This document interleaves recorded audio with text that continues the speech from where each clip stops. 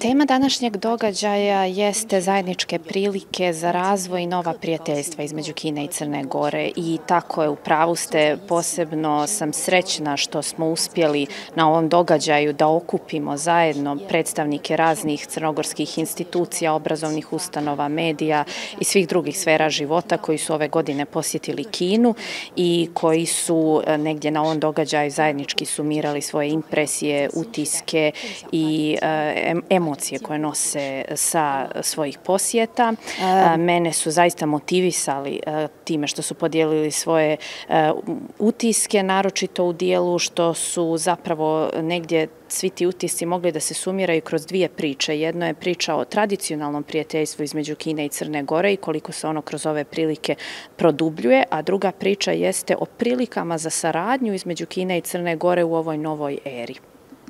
Kina i Crna Gora, iako su zemlje po brojnim parametrima veoma različite i po obimu i po površini i po broju stanovnika i po mm, sistemu e, državnom i slično, i dalje smatram da imaju zajednički put razvoja i mnogo sličnosti.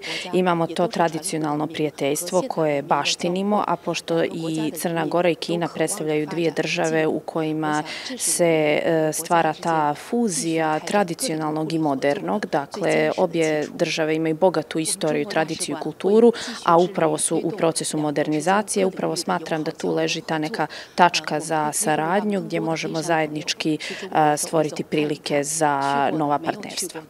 Naša ambasada će nastaviti da omogućava predstavnicima Crne Gore iz svih oblasti i svih sfera da posjećuju Kinu iznova i iznova i da odlaze u Kinu još više i oni koji su bili i oni koji nisu bili, da ponovo posjete Kinu i da nastavimo da razvijamo tu međuljudsku razmjenu koja će samim tim podstaći praktičnu saradnju između naše dvije zemlje u brojnim oblastima i dodatno osnažiti naše tradicionalno prijateljstvo. I ovakve događaje ćemo također nastaviti u budućnosti često da organizujemo. Hvala puno.